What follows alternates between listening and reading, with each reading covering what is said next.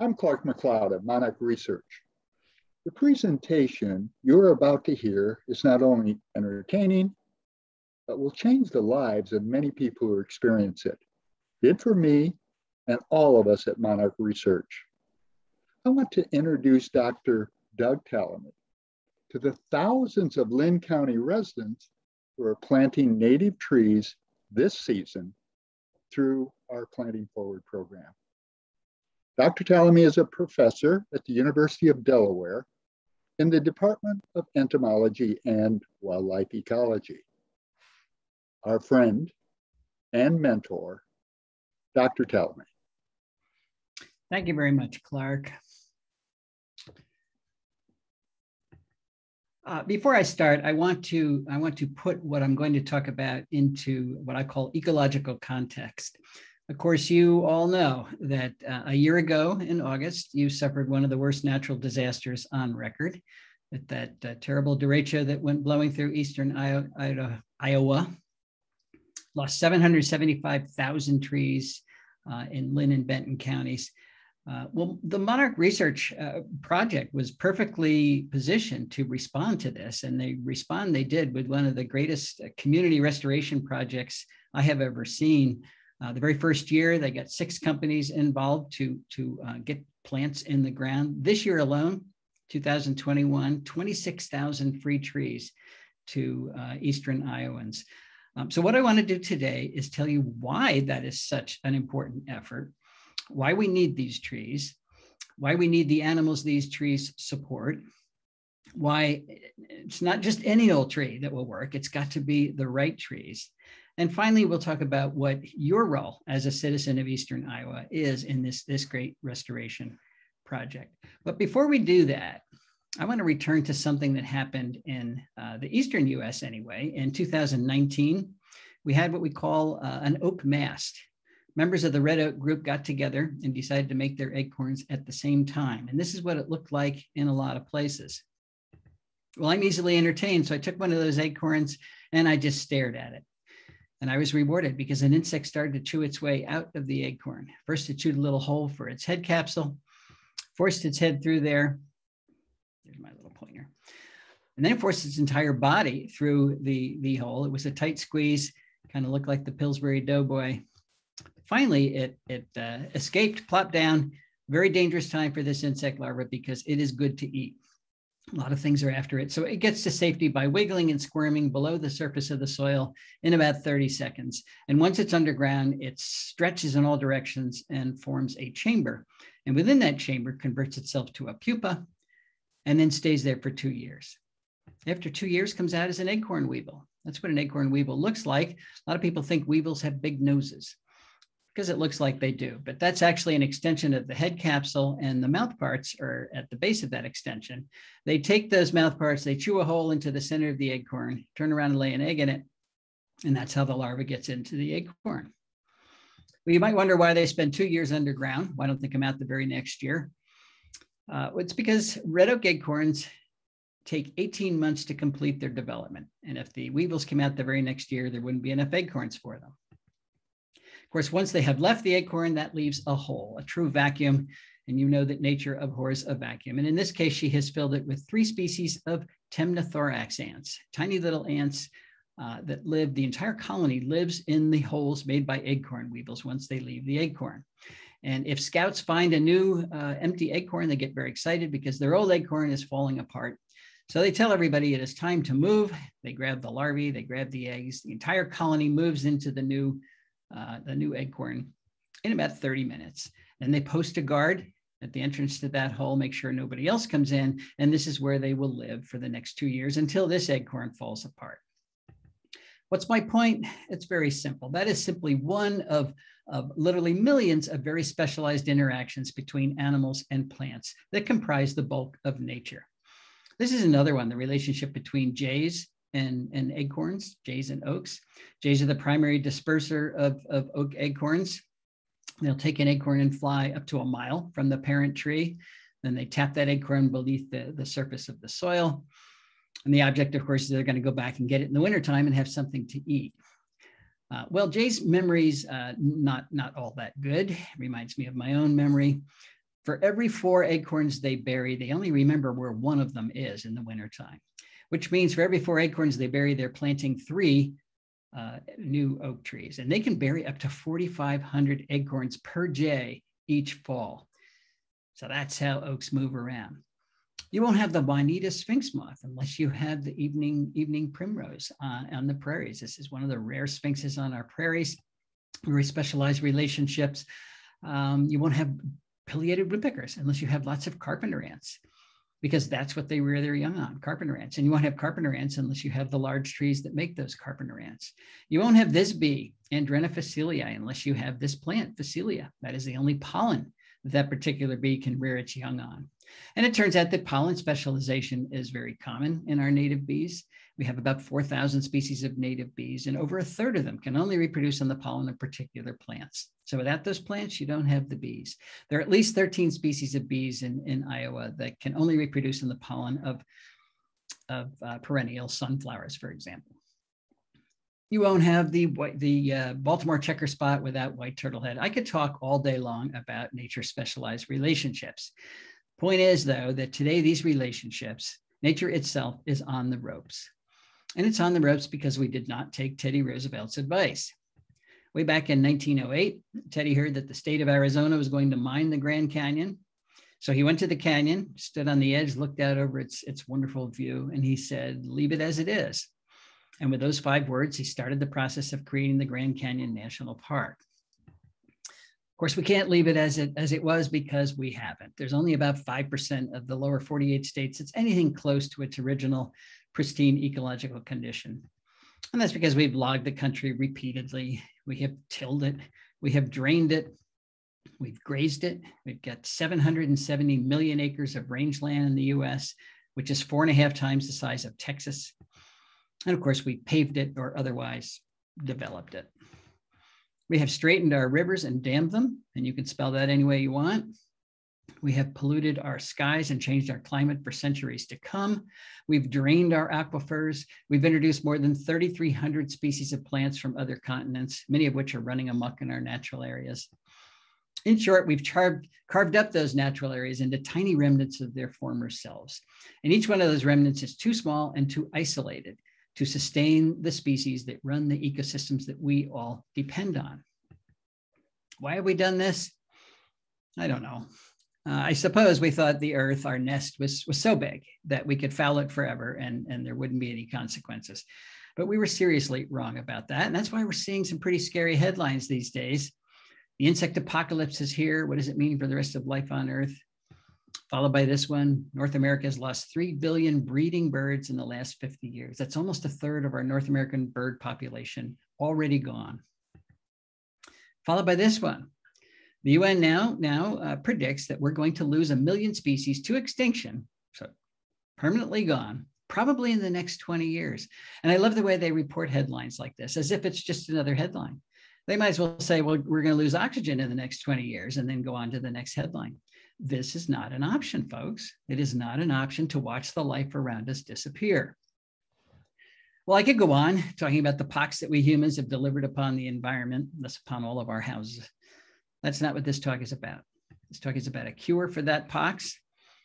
It's a cure that'll take small efforts from, from uh, a number of people, but those efforts will deliver enormous physical, psychological, and environmental benefits to everybody. Let's return briefly to this, this headline, the insect apocalypse is here.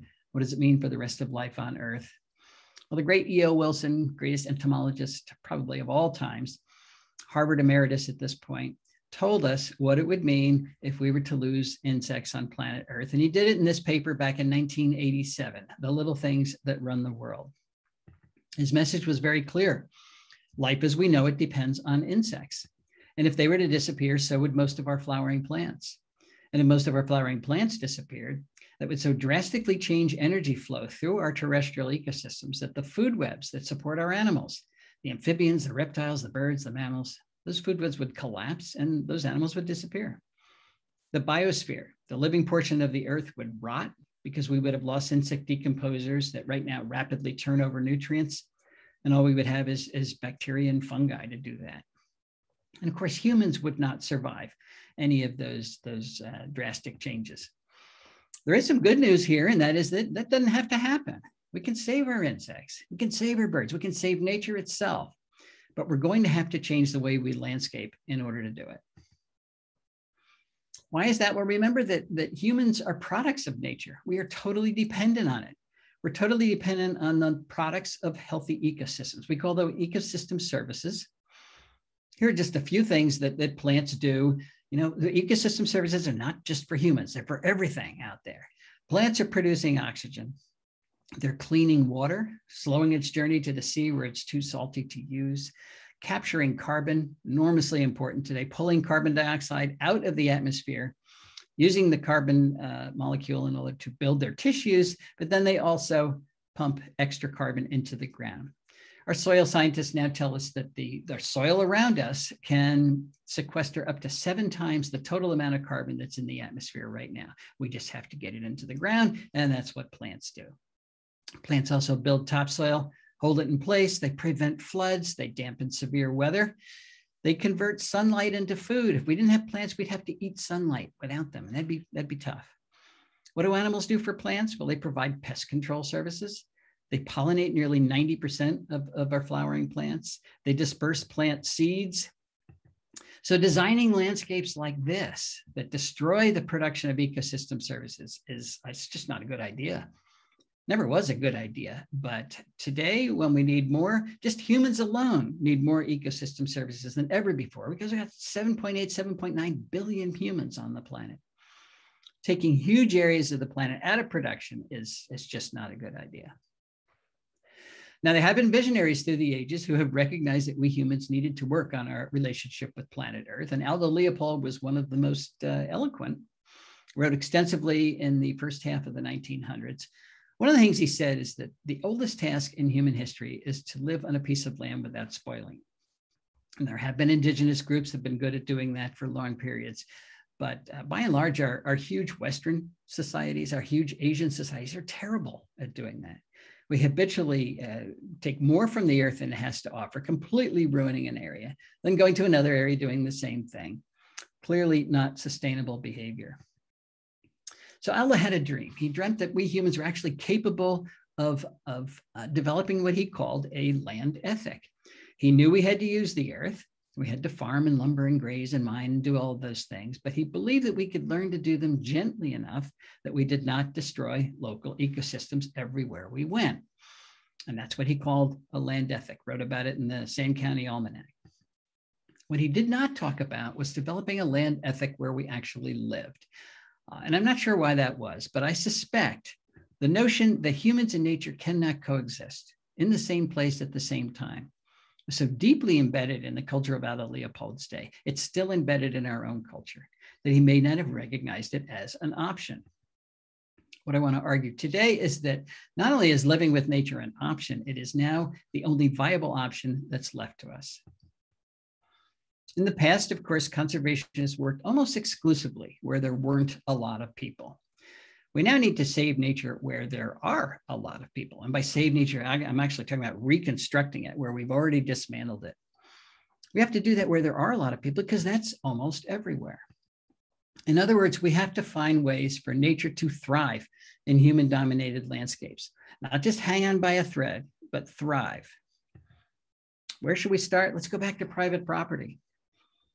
85.6% of the US east of the Mississippi is privately owned. 78% of the entire country is privately owned. If we don't do conservation on private property, and that includes uh, ag land, by the way, we're going to fail because we'll be working in areas that are too small and too isolated uh, and too few uh, in order to conserve the amount of nature that we need to run the ecosystems we all depend on. There are some uh, low-hanging fruit uh, uh, options available to us, though, that we, we uh, really need to start taking advantage of. How about power and pipeline rights of way? So we got 21 million acres in those types of landscapes. You know, Rhode Island is 1.5 million acres. So um, that's a lot of land in just in, in pipeline rights of ways. Railroad rights of ways, another 3 million acres. Golf courses, 2 million acres. Airports, 3 million acres. The Denver airport is twice the size of Manhattan. These are big places. Roadsides, another 17 million acres. Then we have all the places where we live, both in rural areas and suburbia, in our cities, hundreds of millions of acres in, in those landscapes. If you add up just these areas, and, and we could uh, think of other areas to include, that's 599 million acres that we could be doing a whole lot better job of conservation on. How big is 599 million acres? It's big. It's bigger than Vermont, plus New Jersey, plus Maine, Virginia, New York, Georgia, Florida, plus Oklahoma, Montana, California, even throw Texas in there. Not having a place to do conservation is not the issue. We can do conservation almost anywhere.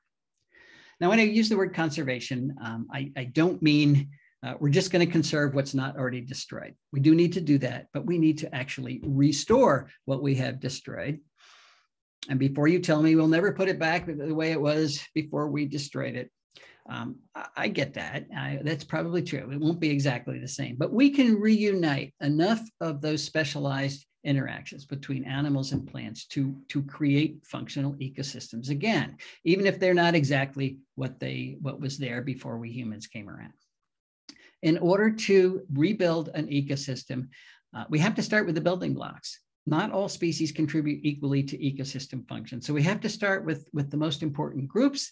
And there are two groups we can't do without. One would be the flowering plants and the pollinators that allow those plants to reproduce. Uh, these plants are capturing most of the energy from the sun and turning it into food, which they then store in their tissues, mostly in their, their leaves. Okay, now we have the energy from the sun as food in the leaves of plants. Well, if you don't move that energy from plants to animals, then you don't have any animals and you don't have a functional ecosystem.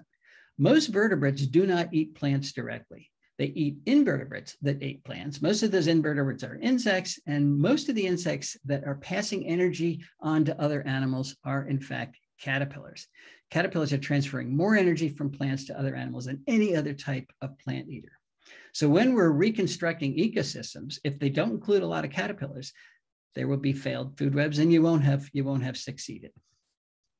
I'm gonna use the Carolina chickadee as an example. Uh, it's almost the same bird as the black-capped chickadee. That's what you have in, in Iowa. Um, they're, of course, the birds that are at our feeders in the wintertime. And a lot of people think, well, all they need is seed.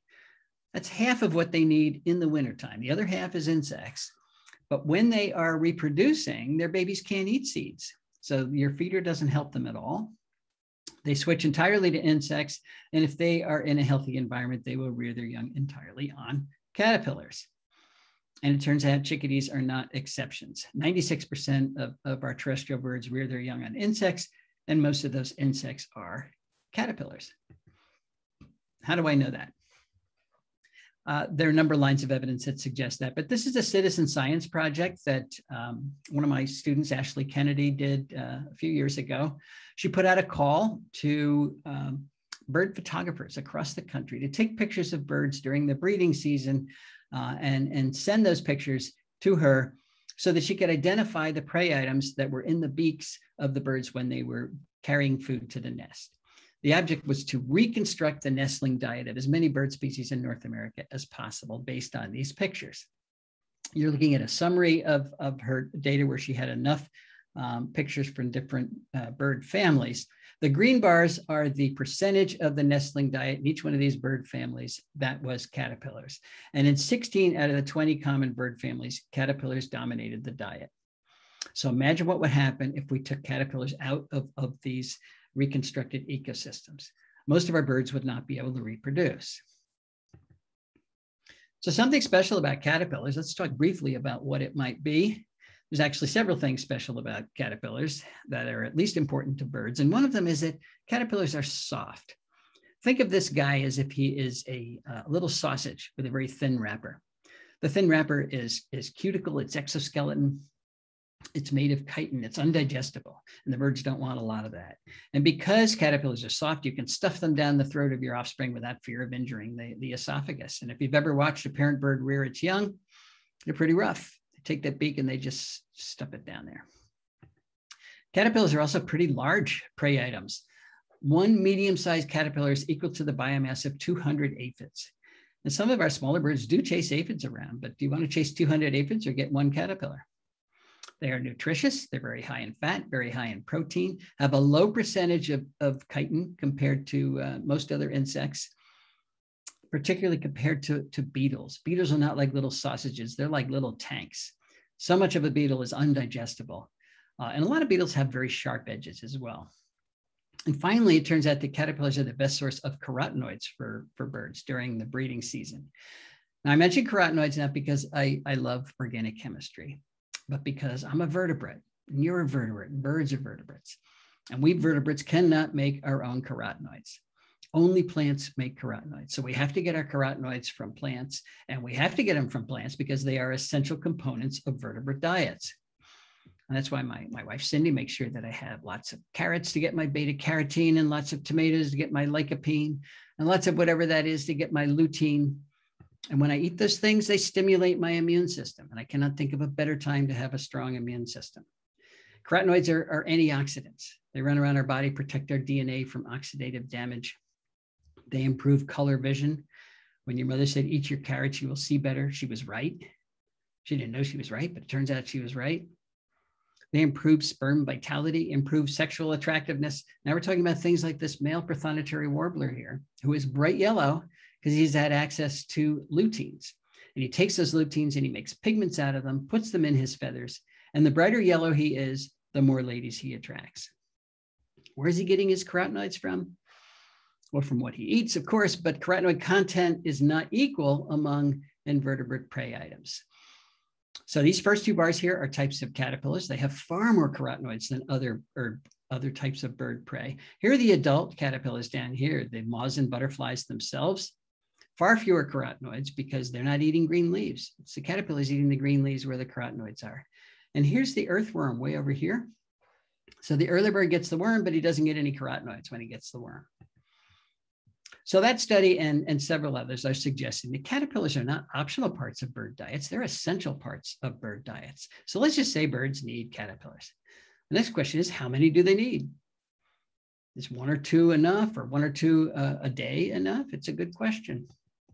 Let's go back to chickadees. We've got a lot of data on chickadees. How many caterpillars does it take to make a nest of chickadees? one or two is not enough. It takes thousands, 6,000 to 9,000 caterpillars, depending on the number of chicks in the nest, to get one clutch of chickadees to the point where they leave the nest, where they fledge. And after they fledge, the parents continue to feed them caterpillars another 21 days, but they're flying all around, so nobody's been able to count those. So you're really talking about tens of thousands of caterpillars to get a bird that's a third of an ounce, four pennies worth of bird to independence. And if you want chickadees to breed in your yard, and I would think you do, because in so many places, that's all we have is our yards, you have to have all those caterpillars in your yard because chickadees only forage about 50 meters from the nest. They're not flying five miles down the road to the nearest woodlot. And if we landscape in a way that does not include all those caterpillars, that's called insect decline.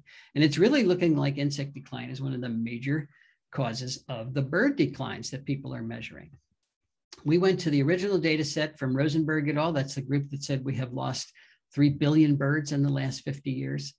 Divided the terrestrial bird species into two groups the ones that require insects at some part of their life history, typically when they're breeding, uh, and the bird species that don't require insects. So things like the, the finches and doves that can actually reproduce on seeds. Well, the finches and doves and the seed eaters did not lose any numbers in the last 50 years, but the birds that require insects that depend on them lost on average 10 million individuals per species.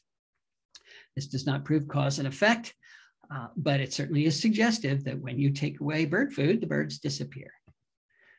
Not rocket science. So if we want birds in our life, if we want all the things that eat insects that I'm not talking about, and we do because that's what runs our ecosystems. We have to start landscaping in a way that creates these insects, that supports them. It's a different goal for, for our landscapes. In the past, we have landscaped with, with aesthetics in mind alone. You had to have a pretty landscape, and whether it was totally dead, that didn't matter. Well, we have to turn that around. Now we want pretty landscapes that are living uh, landscapes. How do we do that? How do we add caterpillars to our landscapes? We do that by adding the plants that support those caterpillars. Seems easy enough, but there is a catch, and that is that most plants don't support a lot of caterpillars. So we have to be fussy about which ones we choose. And we have to be fussy about it because the caterpillars themselves are fussy. And the monarch butterfly illustrates that perfectly. You can have all the crepe myrtle and all the boxwood and all the Callery pear and, and all the burning bush, all of those Asian ornamentals that we typically landscape with in your yard, and you won't make any new monarch butterflies because the only thing that makes a new monarch butterfly is milkweeds. That's called host plant specialization. And it turns out that most of the insects that eat plants are host plant specialists.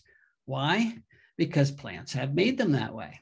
Plants don't want to be eaten. They want to capture the energy from the sun, use it for their own growth and reproduction. So they've loaded their leaves with nasty tasting chemicals, secondary metabolic compounds that make those leaves either bitter or downright toxic.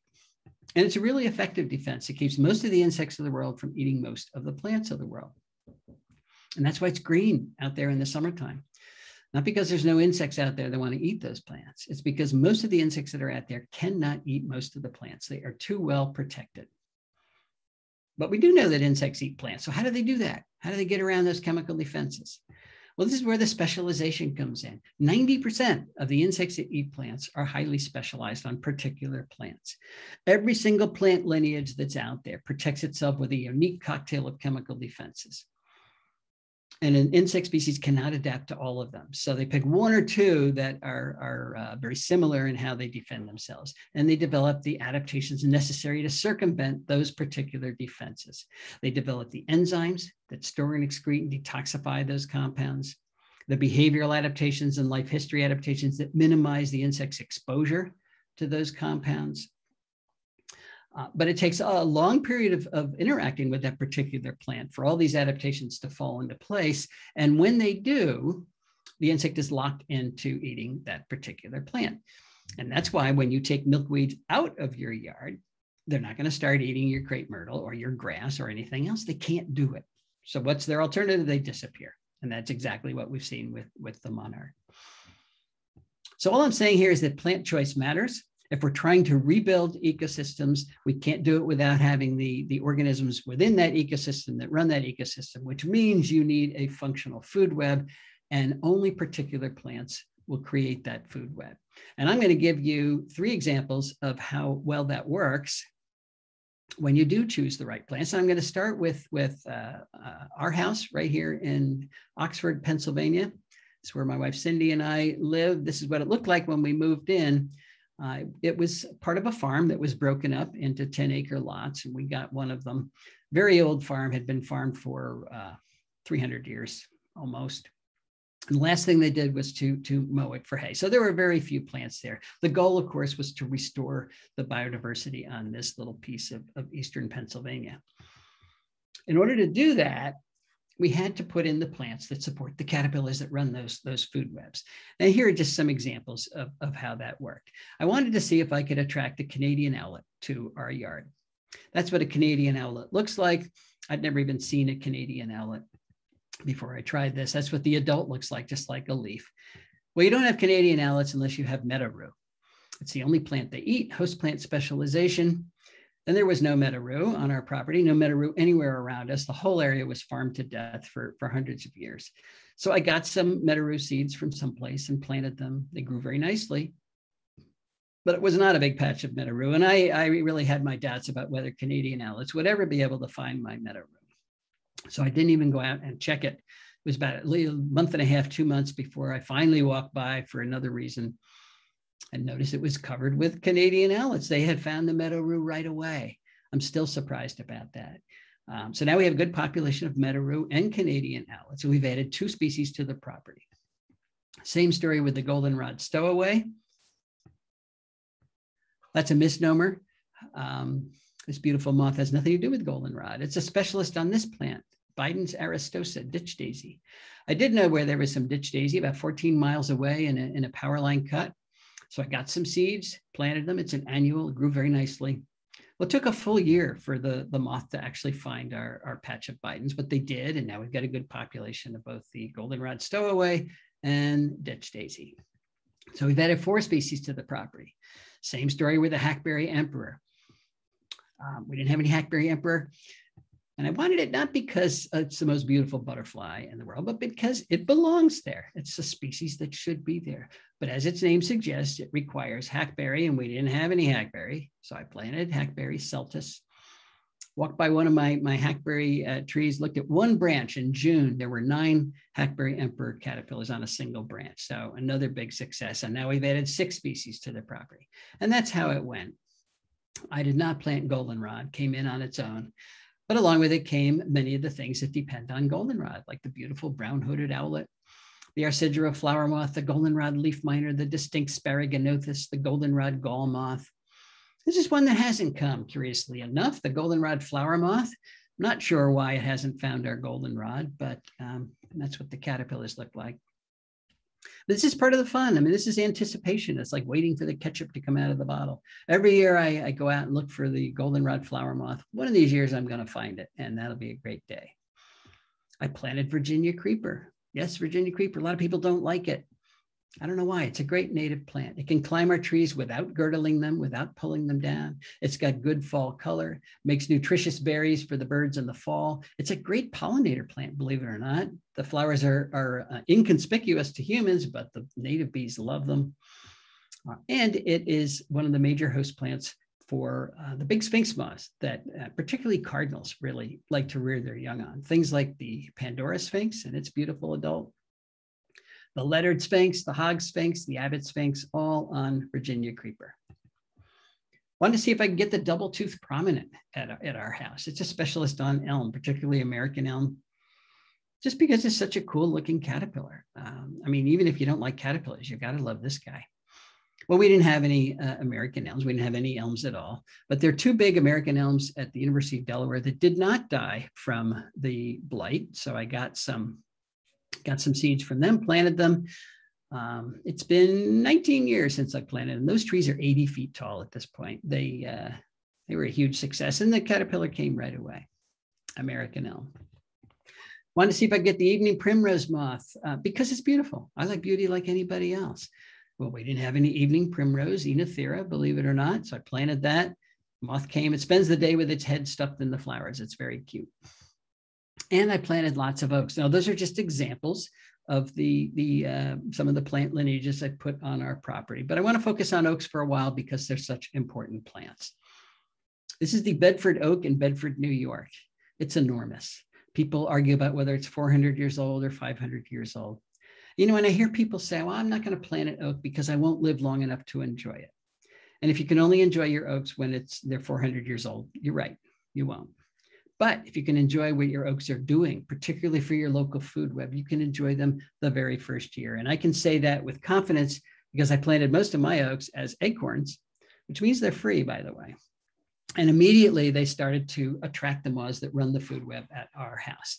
By bringing in things like the solitary oak leaf miner, Juvenal's dusky wing, the yellow shouldered moth, the Suzuki's Promalactis, the uh, red wash caterpillar, the yellow vested moth, the orange tufted oneida, the spiny oak caterpillar, the two spotted oak punky, the variable oak leaf caterpillar, the red humped oak worm, the orange humped oak worm, the pink striped oak worm, the hesitant dagger moth, the lesser oak dagger moth, the greater oak dagger moth, the streaked dagger moth, the afflicted dagger moth, the crown bucculatrix, the orange patch, patched smoky moth, the white blotch heterocampa, the oblique heterocampa, the red line panopoda, the laugher, and literally hundreds more species of moths have come to the oaks on our property, and they come right away. This is a pin oak that has just popped its head above the leaves, and here's a crocus geometer, a moth standing on the ground eating the leaves of that plant. So they start to contribute to your food web, food web immediately.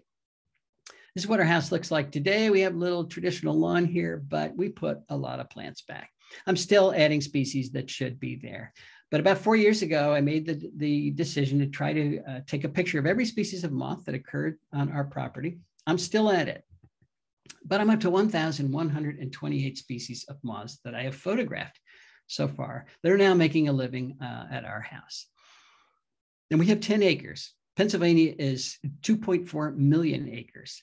So on one 240,000th of the land area, uh, we have 44% of all the moths that occur in the entire state. And we have them because we put the plants that they depend on back. And because so many of these species are types of bird food, we have recorded 60 species of birds that have bred on our 10 acres, not flew by, but bred.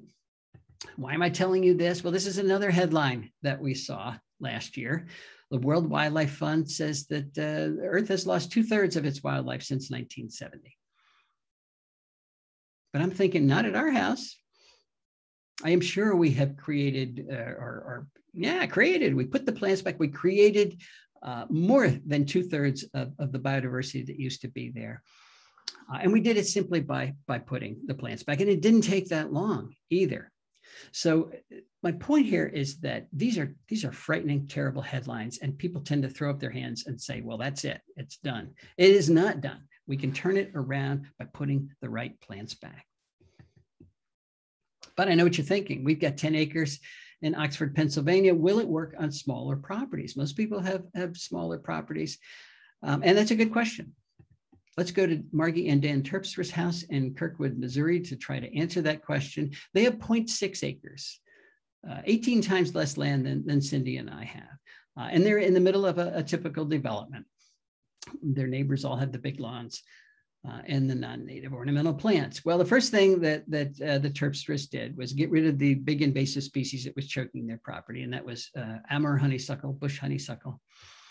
Uh, and they replaced uh, that, that invasive species with a lot of native species. And they also put in a little, little uh, what they call a bubbler, a little water feature for the birds.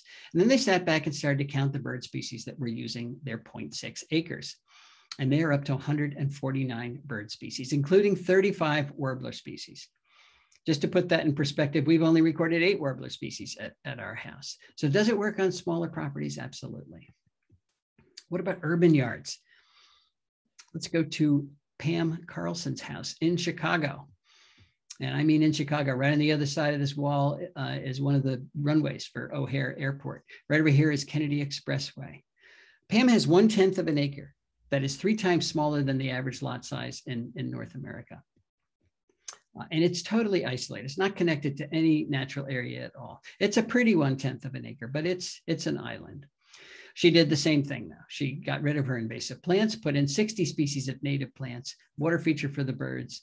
And then she sat back and started to count her, her birds, and she's up to 120 species that have used her yard, including a woodcock.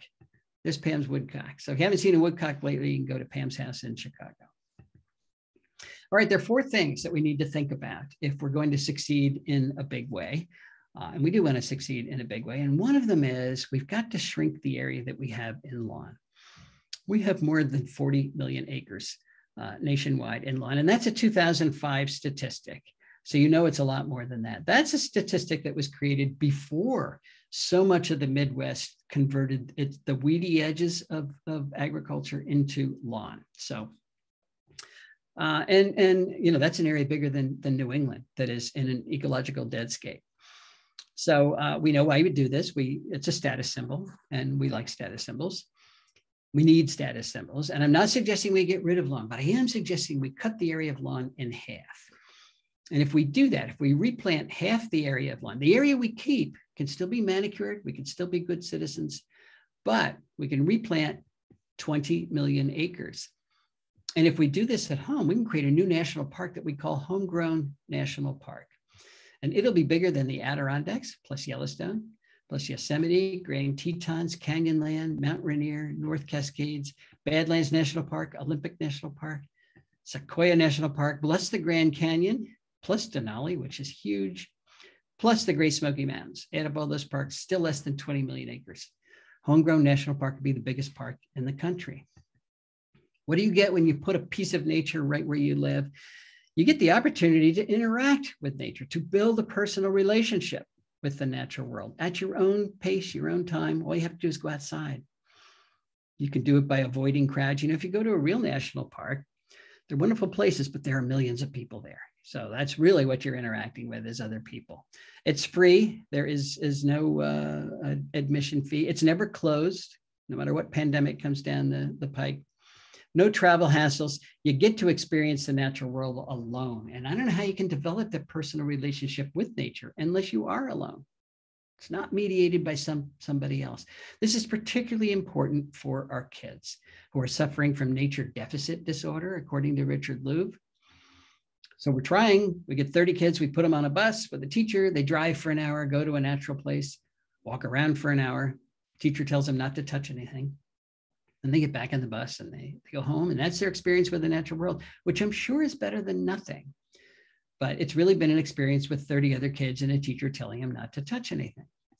If there's some part of nature right where they live, all they have to do is go outside alone, no parental supervision. Let them work it out on their own. Why is that so important? Because they need that, that personal relationship with the natural world because they are going to be the future stewards of the planet. If they don't know what they're stewarding, why they're stewarding it, and if they don't love stewarding it, they're going to be lousy stewards. And maybe they will learn how to hunt lizards. I'm learning this from my own granddaughter, Zoe, who lives in Hawaii in a very modest patch of nature. It's, it's a little patch of lawn with a hedge.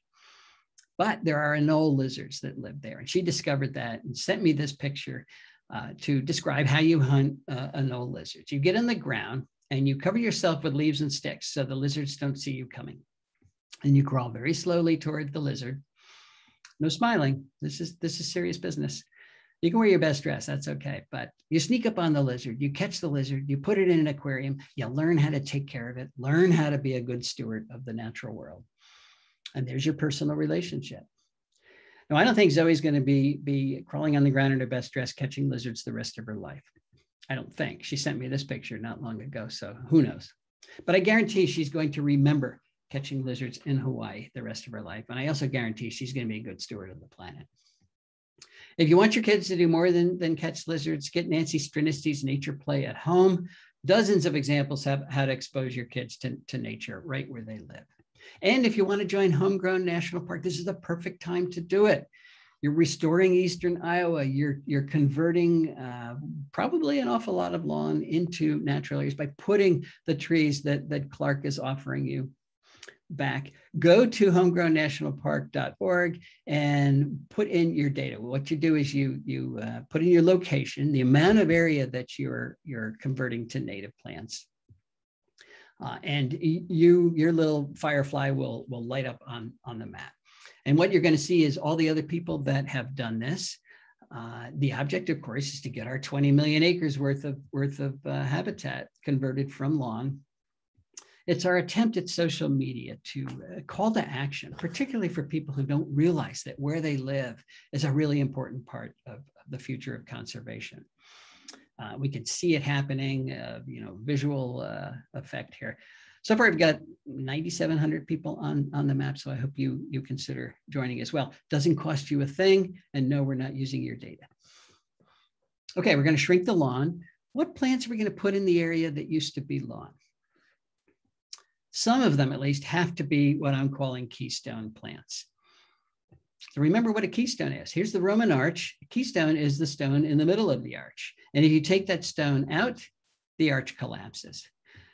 Uh, well, it turns out that, that there are just a few plants, few of our native plants that are doing most of the work. They're the keystones. If we take them out of our food webs, the food webs collapse. Just 5% of our native plants are making 75% of the caterpillar food that drives those food webs.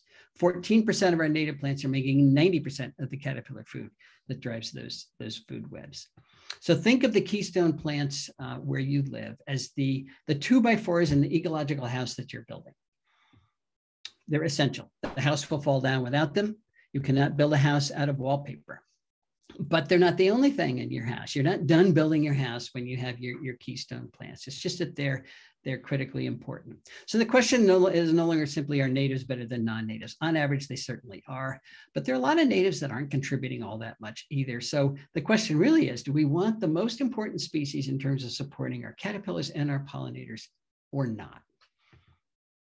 I get an email once in a while from somebody saying, don't you know that, that ginkgos, ginkgo biloba from Asia, actually grew in North America about 7 million years ago? That makes them native. Uh, that means we can plant them and everything will be great. Well, yes, I do know that ginkgos grew in North America 7 million years ago. We can argue about whether that makes them native today, but I'm not going to have that argument because that's not our metric anymore. It's not whether they're native or not, it's whether they're doing anything or not, whether they're productive. I don't care if ginkgos grew in the moon seven million years ago, they produce zero species of caterpillars. So they're there, they're taking up space, but they're not contributing to your local food web. That's what I mean when I say not all trees are equal. Some are really important. And what's the most important tree in, in the nation? It's one of the oaks, the genus Quercus. In 84% of the counties in which they occur, they are the number one keystone plant in terms of supporting caterpillars. 275 species of caterpillars in Linn County alone, which is 20% of all the caterpillars that occur in the entire state of, of Iowa on that single type of plant, oaks.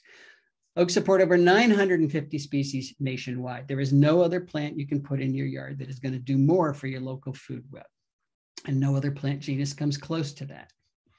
Here's an example of what keystone oaks are doing in, in our yard in Pennsylvania. Now, so far I've recorded 1,128 moss species. Of those 1,128 species, 981 have known host plants. So there's more than 100 I don't know what they're eating. Out of the 981 species, 287 use oaks. And we've got 69 genera of native woody plants on our property, only one of which is the genus Quercus. We've got hundreds of genera of herbaceous plants. So oaks represent less than 1.5% of our woody plant diversity and way less than 1% of our total plant diversity, yet they're supporting 29% of our moss species diversity. That's how powerful a keystone plant is in your yard. Imagine what would happen if we took oaks and other keystone plants out of the system. Diversity would crash. So how do you find out what the keystone plants are for, for uh, your county? Uh, anywhere in the country, you go to National Wildlife Federation website, Native Plant Finder, and put in your zip code and the ranked list of both woody and herbaceous plants will pop up for your county. So this is what a typical list looks like, um, particularly for Eastern Iowa. Notice I say native oaks, native cherries, native willows, native elms. It's because if you go to the nursery and say, I want an elm, they could sell you a Siberian elm. If I, you know, I want a willow, they'll sell you a weeping willow from Turkey. I want a cherry, they'll sell you an ornamental cherry from, from Asia. You've got to specify that you want a native member of these particular genera, because if you get a non-native member, it's going to reduce caterpillar use by 65%. We've already measured that. These are the most important herbaceous genera um, in terms of supporting caterpillars, but they're also the most important in terms of supporting specialist bees when you're trying to build a, a pollinator garden, you want to, to support the bees uh, the specialist bees that require particular plants because the generalists will use those plants as well. And goldenrods, the, the genera that asters were broken up into, and, and sunflowers alone support more than 40 species of, of specialist bees. So if you have these, these plants in your yard, you've got the potential of supporting those 40 species. If you don't, they won't be there. All right, we're going to shrink the lawn. We're going to put in keystone plants. We're going to invite a lot of insects to our yard, and then we're going to kill them with our security light, which of course is not the goal. There's a lot of research coming out now, which is demonstrating very, very uh, conclusively that light pollution at night is one of the major causes of insect declines. These are all the ways that, that uh, lights kill insects. This is actually good news, at least, at least to me. We have got to turn around insect declines. We have already lost 45% of the insects on the planet. Remember, they're the things that keeping us keeping us happy here. Can't afford to do that. So we've got to turn that around. If we can do that by flicking a switch at night, that's pretty easy. We're getting off getting off easy. But I know what you're going to say. I cannot turn that light out over my garage because the bad man will come. All right, put a motion sensor on it. So it only turns on when the bad man does come. And the first thing you're going to recognize is the bad man doesn't come very often. And if you don't want to do that, take the white bulb out of your security light and put in a yellow bulb. A yellow LED bulb is the best because yellow wavelengths are far less attractive to particularly night flying moths. If we were to switch out our, our uh, white bulbs for yellow bulbs in our security lights, overnight we would save billions of insects and billions of dollars too, because the LEDs, of course, are a lot more energy efficient. Okay, there are, are uh, the fourth thing we need to do in order to uh, help those caterpillars that are running our food webs is to landscape in a way that allows them to complete their development. I live in Chester County, Pennsylvania, where oaks support 511 species of caterpillars. A few of them, like the Polyphemus moth, complete their development on the tree. Uh, the caterpillar eats the leaves, then it spins a cocoon and hangs from a branch. Then it emerges as an adult. Then it does it all over again. Everything happens on the tree. I wish everything did that, but most species don't. 94% of them, and this isn't just for oaks, this is for the caterpillars that develop on trees in general. 94% drop from the tree after they finish growing and they wiggle their way beneath the ground, pupate underground, or they spin a cocoon in the leaf litter that is under the tree. And that's the problem. There is no leaf litter under the tree. And you know that we landscape like this everywhere. Um, we don't we don't tolerate it. We and plus we mow and and compact the soil to the point where the soil is so so compacted the caterpillars can't get underground to pupate. So the way we landscape becomes an ecological trap. We call in caterpillars or we the adults the moths. They lay their eggs and the caterpillars develop and then they drop down and then they die. I am convinced that this is another major cause of insect declines, but it's easily reversible. And by the way, the cement landscape is even less of a viable option. It's what most people do. You have a big tree in a yard. We're just starting to measure uh, how well caterpillars do in a situation like this, but I guarantee they will do better in a situation like this, where you have a tree, then you have a layered landscape maybe a dogwood here, uh, a native azalea, ferns, ground cover. This is a safe site. The caterpillars drop down, the soil's not compacted, they can pupate, they can spin their cocoon. They're not going to be mowed, they're not going to be trampled. This is where you can do your spring ephemeral gardening. This is how you shrink your lawn. You put plants around your trees, not lawn, and it becomes a safe site for those caterpillars. This is where you can use your, your native ground covers uh, liberally, like uh, wild ginger, there's native pachysandra, there's foam flower, the mayapples, ferns. This is a, uh, a, hotel in Athens, Georgia. Those are red maple trees. Any caterpillar developing on those trees will drop down into this fern bank and be able to complete their development, even though it's the middle of a city. So we can do a whole lot better in terms of promoting caterpillar well-being by thinking about the way we, we landscape underneath our trees. And there is also room for compromise in our plant choice. We're learning this from uh, the results of a study by another grad student, Desiree Narango, who worked with chickadees in the suburbs of, of Washington, D.C. Her question was, how well are chickadee populations sustained in landscapes that are dominated by native plants versus landscapes dominated by non-native introduced plants? The first thing she found is that when, when these suburban landscapes were dominated by introduced plants, they produced 75% fewer caterpillars. So right away, there's 75% less bird food. They were 60% less likely to have breeding chickadees at all. So their nest boxes up in every everybody's yard, but uh, chickadees would come and look around and say, there's not enough food here. We're not even going to try to breed. If they did try, they laid 1.5 fewer eggs. Those clutches were 29% less likely to survive. Uh, if they did survive, they produced 1.2 fewer fledglings, and it took them 1.5 days longer to reach maturity. And if you put all that information into a population growth model, as a function of the percentage of woody non-native plant biomass in your yard from none to 100%. And we focus on, on non-native plant biomass, woody plant biomass, because that's where chickadees forage. All right, this dotted line is replacement rate. That's the rate at which the population has to make babies in order to replace the adults that die every year. If you're reproducing at this rate, uh, you have a sustainable population. It's not growing, but it's not shrinking either. If you make more babies than adults die, you're above the dotted line here and you have a growing population. But if you make fewer babies, uh, then you have a shrinking, unsustainable population. Right here is where those lines overlap, which is around 30%. So uh, being very generous, you can have up to 30% of your non-native, of your woody plant biomass non-native without destroying the local food web. As long as 70% is native producing all those caterpillars that the chickadees need. Uh, so this is important because this is the area of compromise. If my message was, you can't have any non-native plants, very few people would listen because we, we love our, our native or non-native plants. But remember, it's not the presence of non-native plants that destroys food webs. It's the absence of native plants. Get these native plants back into the landscape and the food webs will be sustainable. Can municipalities help us live, live with nature?